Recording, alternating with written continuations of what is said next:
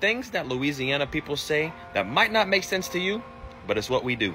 And now, when you walk out of your room, make sure you cut the lights off.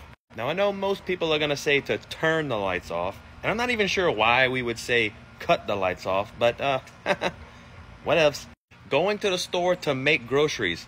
Not everybody says this, but a lot of the old timers do. And of course, if you lose a little context clues, you'll realize that make groceries means to go buy groceries. But why would we make groceries and have to pay for it if we're making it? Then we're building it. Doesn't make a lot of sense, but uh, it is what it is. And not only do people make groceries, but they also save groceries, aka put them away where they belong. Hey, Corey, I'm gonna come pass by your house later. Now, that doesn't actually mean that I'm going to pass by his house, as in not stop. It actually means I'm going to stop by his house.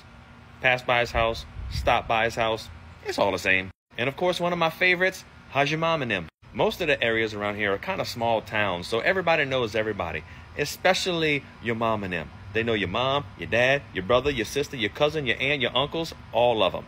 So instead of just saying how you doing, they want to know how's your mom and them.